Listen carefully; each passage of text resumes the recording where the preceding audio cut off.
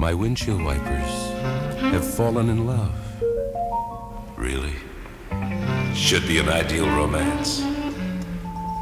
You think so? Oh, yes. They'll go everywhere together.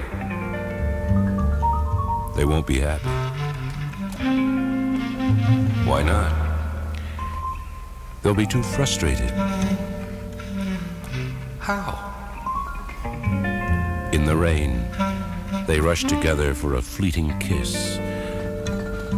But they never quite make it. That must be unbearable. I don't think they'll be able to stand it. They're probably better off without rain. When they can just lie there and stare at each other.